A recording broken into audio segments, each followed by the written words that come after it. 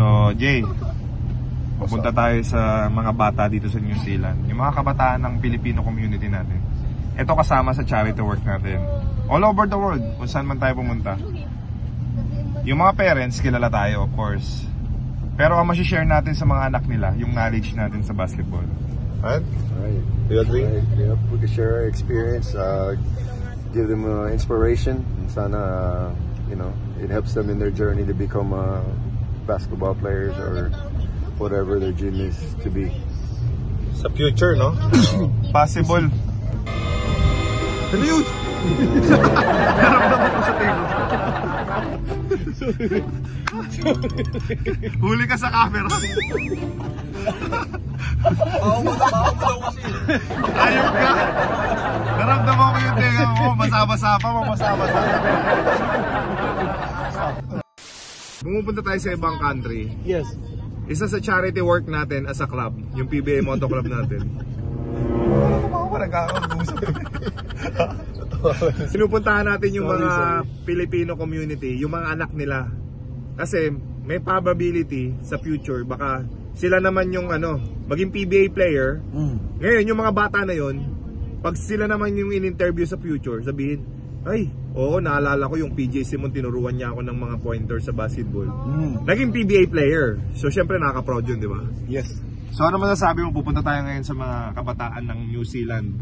Um, siyempre, napaka-excited and uh, ito naman talaga yung purpose natin at saka ito yung pinaka-best part sa tour natin na makapag-give back tayo sa mga kababayan natin, especially dun sa mga bata and uh, looking forward na maturuan natin sila ng uh, basic and fundamentals and we also turuan din natin sila um, yung mga routines nila everyday and hopefully magkaroon pa tayo ng chance na uh, ma-breakdown natin sa kanila kung ano mga kailangan gawin. Lahat tayo, may pathway tayo, kanya-kanya tayong pathway, papunta ng professional basketball.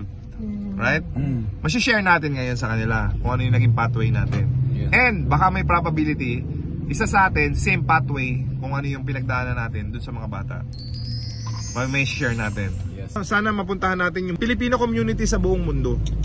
Kasi syempre, nag-migrate na sila, yung mga anak nila, nakakakwentuhan natin, nakakamusta natin sila, di ba? Yes, yes. Right? Ito, si Kuya Don, public servant natin to sa Pilipinas. Kuya Don, di ba? Gusto mo yung kinakamusta mo yung mga OFW natin. Right? Yan yung exciting part ng tour Lagi natin. mo sinasabi, Amazing Rico, na pinapaabot natin, pina-appreciate natin yung pagiging modern day heroes nila.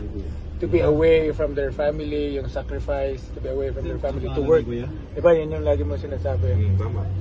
But going back sa minention mo yung mga bata, wala yung wifi naman. katulad sa Don Bosco namin, meron kaming sinasabi. Ardua non temio, fear no hardship. So yun yung Fear no parang hardship. ini-embrace. Di ba? Yung sinasabi, trust the process, embrace the grind.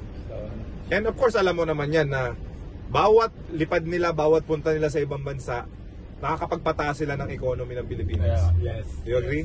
Yes, agree. Oh, yung important din. Kaya sila naging modern hero dahil dun. Modern day heroes. Tulog na, tulog na dito na tayo. Ito para to say, I said, young man.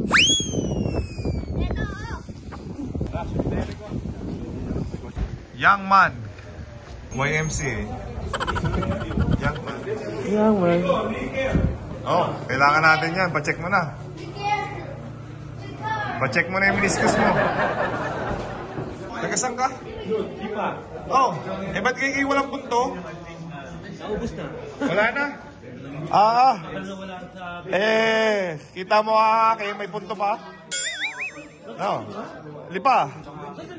Sa Rosario yung negosyo, sa yung Lipa, yung Barangay Antipolo. So pagka pumunta ka pala sa ano, mawawala na yung punto. Hindi, kasi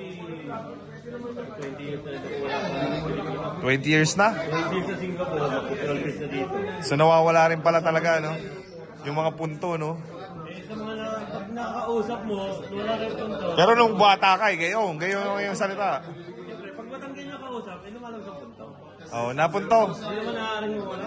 Di maaari. Ano jersey yan? Ay, Helter Brand, pati yung likod. Oh, the pass! Meron pa Helter Brand? Nice. Jay, baka may Brand pa ba daw? Sakto? Medium yan?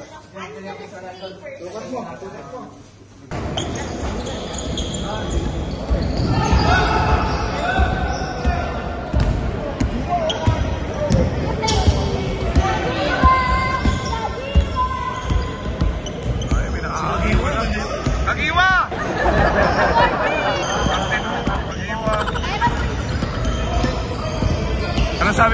dati pag Manila Classico, ako, ako lagi nagbabantay ng PJ. Eh, feeling ko, minsan, good thing na ako. Magdadad siya, ma ma-stop ko yung dad niya. Pero pag bulat niya, kahit na ganyan na ako, bro. Masisip niya pa rin. Ganyan na ganyan. Bakit? Bakit shooter ka? Bakit sobrang galing mo? Pag may challenge, Yes, kasi lagi ko siyang pinapractice sa kanya, challenge sa akin. And kailangan ko mashoot pag hindi, ilabas ako ng coach eh. Takot siya mag-miss. wala. Pag Kaya nahabit niya na. Ako ha, no... No ano to kay James ha, pero mas sila ko bantayan to kaysa kay, kay James. Panis yung James Yap sa'yo. Promise. Baka na yung kay James ha, no offense. Ah, ako nga. Sige, oh. Ikaw nga, oo. Bitch, huwag ka mayabang. Yabang. It's a rock in the sky, alley oop. Can't nobody see me when I ride, that's the truth. We be breaking ankles all the way. Wala, wala pang warm up. Ma- masigit pa yung best nito. Moto, PBA, Moto Club, PBA, Moto, Club. PBA, Moto Club. Find me in the fast lane, pipe on blazing. See us going by and they yelling.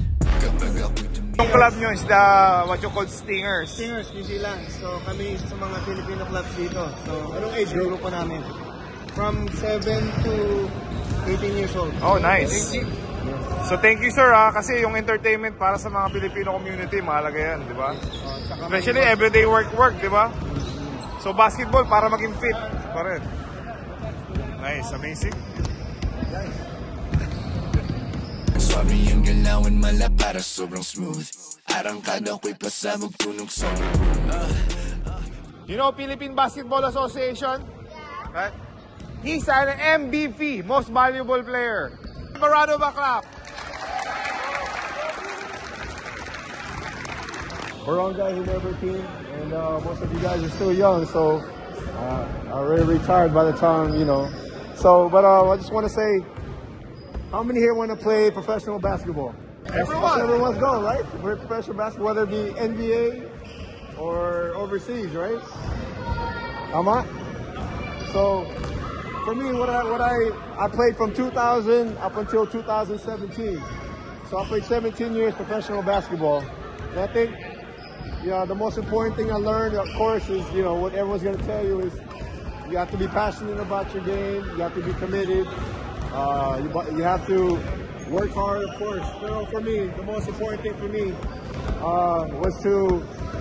I always prayed every day. I always prayed, and uh, for me, I think without the help of God, there's no way that I would have achieved my dream uh, being a professional basketball player. So my only message to you guys is always put God first. Always remember to pray and give it your all, no matter whether uh, you're playing for middle school, high school, or college. And if, you guys decide you want to go pro, it's really up to you guys. I just want to say thank you guys for your time, man, and uh, God bless you guys. Thank you again. Appreciate it. I'll just be quick. These guys that you've seen here, we have that A, B, C, and D. What's letter A? We have the right attitude. Right? You have the right attitude, whoever is the coach, whatever coach tells you. Okay, A. What is B? He didn't start, right? There was a guy ahead of him, but he had the belief that someday he will do great. Give a hand to JJ. So, if you have a belief that you'll do great, you'll do good, eventually you'll be like that. Okay, C, what is C? C is commitment. Do you practice only when the facility is nice? Do you practice when the environment is nice? Or do you practice even if it is not nice? Right? You should have that commitment. These guys, they have commitment. What's letter D? So I, I mentioned A, attitude, B, belief, C is commitment. What's letter D? Give a hand. What's your name? Aaron. Give a hand to Aaron. Discipline. You know, you know what's discipline? You know what's discipline? Doing the right thing when nobody's looking. It's okay to do the right thing. Usually we do the right thing when our parents are there. When our coaches are there. How about if the coach is not looking? Are you doing to step on the line and do the suicide drills or you won't touch the line? So get used to being disciplined, doing the right thing when nobody is looking. Okay, what's A? Attitude. Right attitude. B. Believe. C. Commitment. D.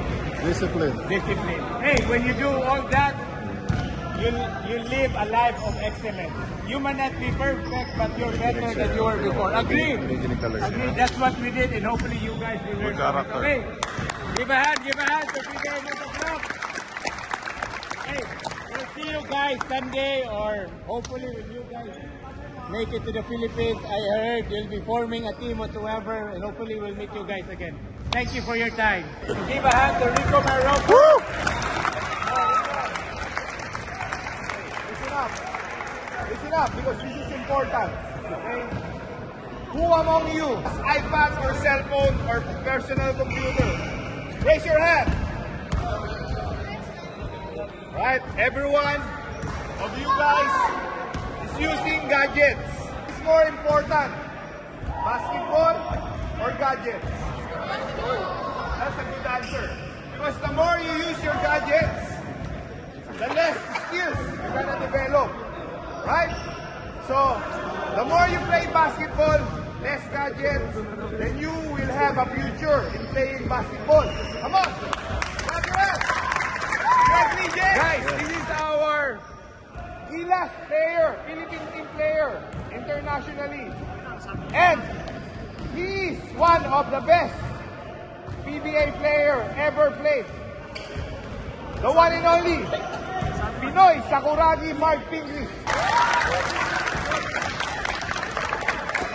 Uh, always believe in yourself and please always listen to your coaches and to your parents. That's it. Thank you.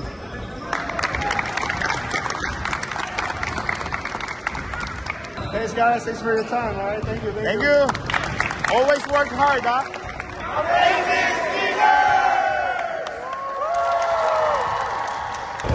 you. like my message, my man? Yes. I love it. There's E. A, B, C, D, there's E. Live a life of excellence. Effort.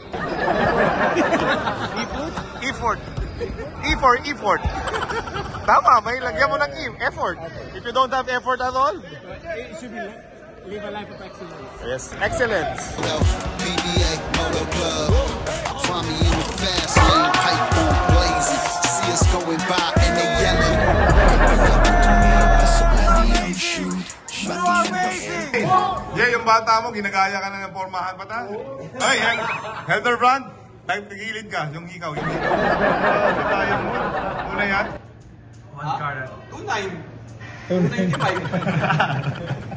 Grabe, JJ Helder Brand na ang formahan nyo. Jay, lakas mo maka-influence. Ginaya mo lang naman, kaya lang yung binili mong ano, kay Kalel. Kala, sa'yo daw to. Gabriel, you have a good character, ha? Do not, do not ever change. Because listening up. Is the beginning of understanding. Yes, sir. Listening is the beginning of understanding. Yes, you understood? And, Okay. and you were paying attention kay yung mata na was really looking, Looking at our mouth. at, at You are looking at my eyes and my mouth. That's why you're gonna learn a lot. Remember that, okay? Very good. Take care, Gabriel. And keep working hard, ha? Even though at home. Angel Gabriel. E- Even though at home, okay? Yung mga gusto natin mga nakaka-inspire tayo. We touched their heart. Yes. We did our part. If you encourage height one kid lang, no? It's fulfilling, no? Kasi, di ba, a- after after doing D, you will live a life of excellence. You you were better than before. Then, when you're living a life of excellence, of course, fulfilling ka na, di ba? And you go back to G.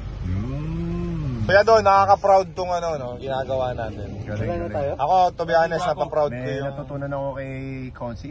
Ano ba? Gagamitin ko yan pag ne- next time tayo nag-speech. Especially, especially for you, Jay. You have a lot of ABCD. followers. di ba? A, B, C, D, And, E, F, and, and hindi H. makalimutan ng bata yan, ABCD. Eh. Ah, galing. Nice. ABCD. Okay, pag may speech ka, pwede mong gamitin din yan. Now, are you proud of what you're doing? Yes, proud and I don't know. I learned. I learned something. Fulfilling. Yeah, it's cool. No, you can give back. Ano nga sabi? It's better to give. Then to receive. Yes, sir. Mga ka-amazing, may natutunan na ba tayo sa isa't isa? Bisita muna tayo sa mga kababayan natin na bahay dito. Grabe yung mga Pilipino dito. Maganda yung mga bahay. Hi, Ira! Hello po!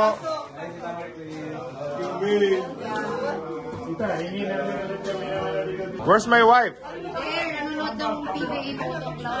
We're watching PBA Moto Club. Happy 8 months, look! Look, look, look, look, look, look, look! Wow! Nice. Happy 8 months, look. Ate Daddy ka, meron akong ano, pinapanood dati, andun ka. Yung, Daddy, Daddy, Daddy. Daddy, Dino. Ikaw ba yun nandun, di ba? Oh, yun, yun, napapanood ko yun. Alam mo yan. Napapan ako. Tita, thank you so much. You're amazing, Tita Marie Chris. It's an honor to be, uh, all of you to be here. Thank you. Go, prayer. Lord, we thank you for today's the day of a wonderful speech by all the players here a while ago from the clinic. And thank you for our hosts, our cookers, Tita Marikis, and Kuya Jan. and Kuya John. Thank you everyone and stay amazing. Amen. Happy eight months, look, look. Happy eight months, happy eight months.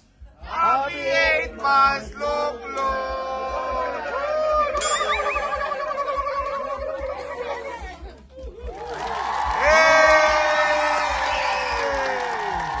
Thank you guys. Thank you, Tito. Thank you, Tita. Thank you. Always feel at home, no? No?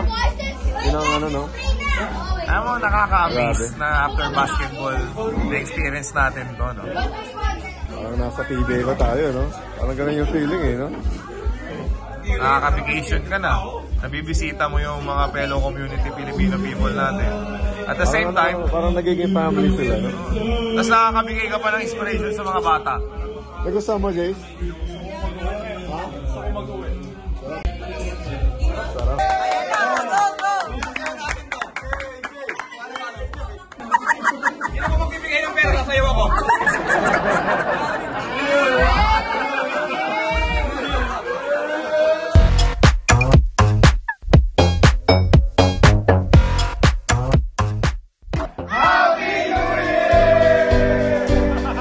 Hey, you know the rules. You drop it. I'll buy it. Alright. JJ Helter Brand. Guys, about, uh, about, about new car in New Zealand. Stroll ka muna. Saan ka punta? Uwi ka na? Okay. Ingat ka, Jay. Sino ka dyan, Jay? Todo mo na. Huwag mong dahan-dahan. Bilis na bis. Close na kayo ah. Yung nagupit sa'yo, Gax ah. Ayop, ano rin to, sports car? Mukhang na-enjoy mo yung nagupit sa'yo ah. No? Na-enjoy mo yung nagupit sa'yo. Mukhang kung close na kayo ah. Jay, usok. Usok, usok. Chilling. Let's go, let's go, let's go. Real? You're going tonight? Can, can you can you do a drifting? Drip, drip. Jay, drip.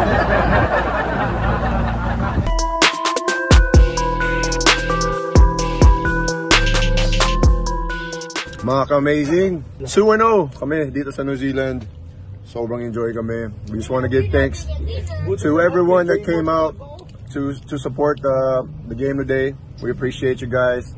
Thank you so much for the love that you showed us, and congrats to the the, uh, the two winners uh, that won the Raptor. So uh, everyone had a good time, and hopefully we can do it again soon. God bless you guys. Stay amazing. Credit goes to PJ and JC. Best player of the night. Best player of the night, PJ.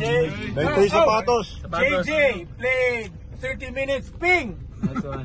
Of, coming off injury.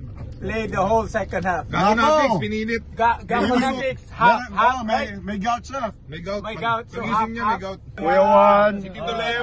Si Tita. Hindi ko alam ang Tita Mari Chris, Camille, Mao, everyone, all, everyone that had a hand in uh, making this happen. Grabe. You guys are amazing, man. Sobrang hands-on kami dito mga kabsat.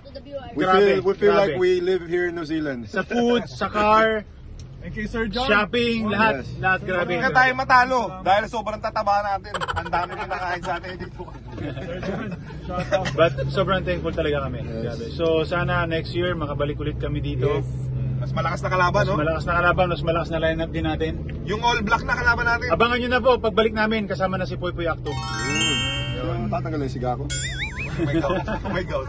Hindi, dagdag lang kasi walo lang tayo eh. Oh, dagdagan tayo siya. Oh, yun pa yun, no? Walo lang tayo. Walo kami. Sila dito 20, dito. 20 plus ata. At magpapakondisyon ako pagbalik. condition. Hindi pa kondisyon. Ang ganda ng pasa ko sa'yo, lumusot Magti 3 months ako hindi naglaro. First time ko maglaro natin seryoso kanina. Oo, Kaya wala nang gigigil ako. Magpa-release ka na para makabalik ka na sa Release! ano. Come on! Release!